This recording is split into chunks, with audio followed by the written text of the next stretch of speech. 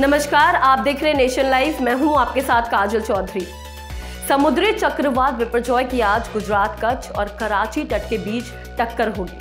बेहद शक्तिशाली इस तूफ़ान के लैंडफिल को देखते हुए कच्छ समेत गुजरात के पूरे तटीय इलाकों में आज लॉकडाउन रहने वाला है।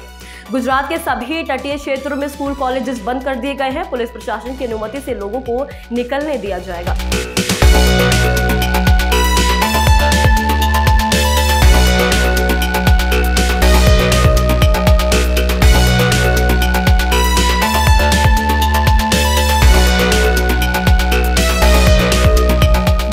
सरकार ने अब तक राज्य के आठ जिलों में से चौहत्तर हज़ार चार सौ पैंतीस हज़ार लोगों को सुरक्षित स्थानों पर पहुँचाया है। तो वहीं समुद्री चक्रवात से प्रभावित होने वाले जिलों के गाँव में धारा एक लागू कर दी गई है। बता दें, समुद्री चक्रवात विपरजॉय अब गुजरात के एकदम करीब पहुँच चुका है। ताज़ा अपडेट के अनुसार इसकी दिशा में थोड़ा बदलाव ज़रूर देखा गया और ये कच्छ की तरफ़ मुड़ा है। ऐसे में कच्छ को सबसे ज़्यादा अलर्ट पर रखा गया। राज्य सरकार अभी तक कुल आठ जिलों में से चौहत्तर लोगों को समुद्री और खतरे वाली जगह से हटाकर दूसरी जगह पर शिफ्ट कर चुकी है। जूनागढ़ में चार हज़ार छह सौ चार, कच्छ में चौंतीस हज़ार तीन सौ, जामनगर में दस हज़ार, पोरबंदर में तीन हज़ार चार सौ उनहत्तर, देवभूमि द्वारका में पाँच हज़ार पैंतीस, गिर सोमनाथ में एक हज़ार छह सौ पाँच, मोरबी में नौ और राजकोट में उनासी लोगों को सुरक्षित जगहों पर रखा गया है। गुजरात के इन क्षेत्रों में भारी बारिश हो रही है और हवा की गति काफ़ी ज़्यादा है। इसके चलते द्वारकाधीश मंदिर से लेकर सोमनाथ समेत तमाम मंदिर आज गुजरात में बंद रहने वाले हैं। विपरजॉय तूफ़ान के नज़दीक पहुँचते हुए इस भयावह असर देखने को मिल रहा है।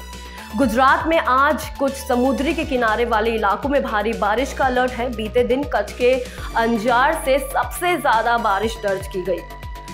समुद्री तूफ़ान का लैंडफॉल आज शाम चार बजे से आठ बजे के बीच होने की उम्मीद जताई जा रही है। मौसम विभाग के अनुसार लैंडफॉल के बाद भी गुजरात के तटीय और दूसरे इलाकों में इसका प्रभाव देखा जा सकता है। ऐसे में लोगों को घरों से बाहर नहीं निकलने की चेतावनी दी गई है और 16-17 जून का अलर्ट भी घोषित कर दिया गया है। महातूफान है गुजरात के अब बेहद नज़दीक पहुँच चुका है। ये कच्छ के जखाऊ पोर्ट से 200 किलोमीटर की दूरी पर है। मौसम विभाग के अनुसार तूफ़ान के टकराने का समय 120 से लेकर 135 किलोमीटर की रफ्तार से हवाएँ चलेंगी। इतना ही नहीं, हवाओं के झोंकों की गति 150 किलोमीटर भी हो सकती है। बता दें, ये अभी एक सौ पैंसठ किलोमीटर प्रति घंटे की रफ्तार से बढ़ रहा है, लेकिन अभी जखाऊ पोर्ट से 200 किलोमीटर की दूरी पर है। इससे बचने के लिए सभी पुख्ता इंतज़ाम किए गए हैं। केंद्र सरकार खुद इस पर अपनी नज़र बनाए हुए है।